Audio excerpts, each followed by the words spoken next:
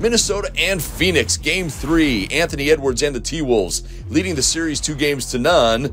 But Kevin Durant and the Suns have home court advantage in game three. Durant turns it over. Rudy Gobert, the steal, the steps, and the score. Minnesota leading by five early.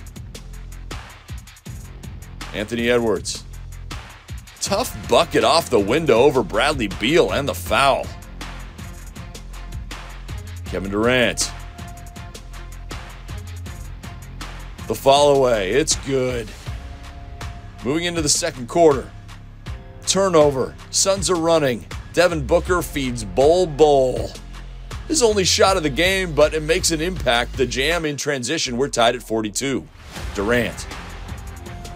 Along the baseline. He's got it. Durant had 25 points.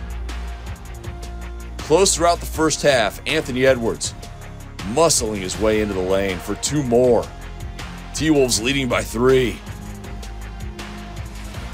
Final 90 seconds of the first half. Mike Conley drives off the window, good. And the T Wolves lead at the break 59 53. Third quarter, Minnesota gets it going.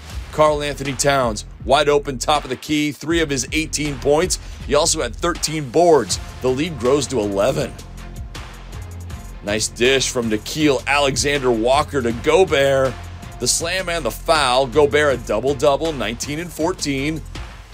Kyle Anderson finds Nickeil Alexander Walker in the corner for the three. And the lead is 19, 83 64 T Wolves. Anthony Edwards drives. Great reverse lay in.